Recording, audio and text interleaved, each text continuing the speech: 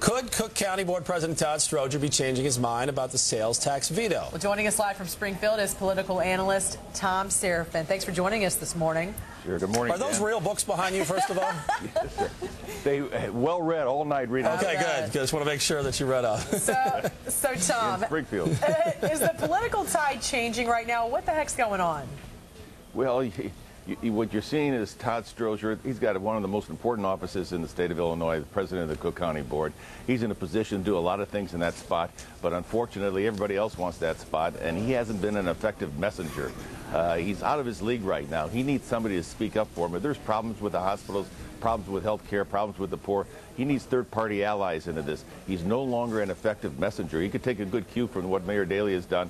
He's got great people working around him, done a lot of hard work at City Hall, but also has raised taxes and raised fees everywhere else. Tom. But he's able he's able to survive because he's got those third-party allies. Okay, Tom, so we're talking specifically, though, about John Daley. You mentioned Mayor Daley. John Daley voted against him.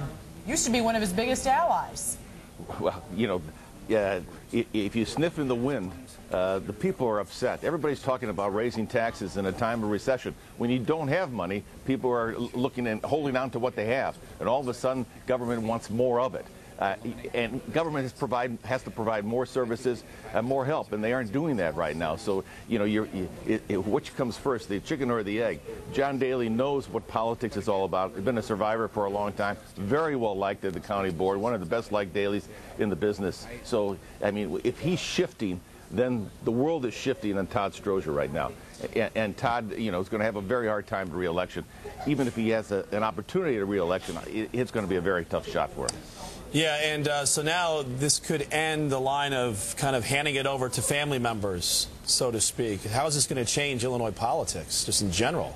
Well, you know, you've got, you know, people are talking about uh, Danny Davis gets into it, the congressman. Uh, he's an older gentleman. He won't be around for a long time if he does take that spot, but he has to take it with Todd Stroger's assistance and, and, his, and help. Todd's not going to allow this to be taken from him. Uh, Preckwinkle, Alderman Preckwinkle's in this race. Uh, Paul Vallas is going to run as a Republican in this race. Forrest Claypool is going to be very uh, dominant if he runs as a Democrat. He would have beaten Todd Stroger if Barack Obama had supported him in this last race. I think the president feels as though this time around he probably would unleash some of his resources behind Forrest Claypool, which would make him a preeminent choice of the Democratic primary. So, yes, it might stop that succession of politicians and local aldermen and their sons and daughters uh, getting elected. But at the same time, I think uh, I, I, I think this is going to go down to the stretch. You know, you cannot walk away from the African American voters in the city of Chicago. Todd Stroger represents African American votes. Uh, we don't have an African American right now running for governor. Maybe Reverend Meeks, Senator Meeks, might take that mantle up. Uh, you can't walk away from the African American vote. That's very important. So if you turn on Todd Stroger, you have to turn your support somewhere else. So the, uh, the Caucasians, the Irish, the Polish, the Italians are going to have to be very careful in how they deal with Todd Stroger. All right, Thom Serafin uh, live with all his books down in Springfield. We appreciate you joining us. Thank you, Mike. Back when they had encyclopedias, right? You got it. right. Old school. Back All when right. it was called Encyclopedia, not Wikipedia. Right. Wikipedia. Yeah.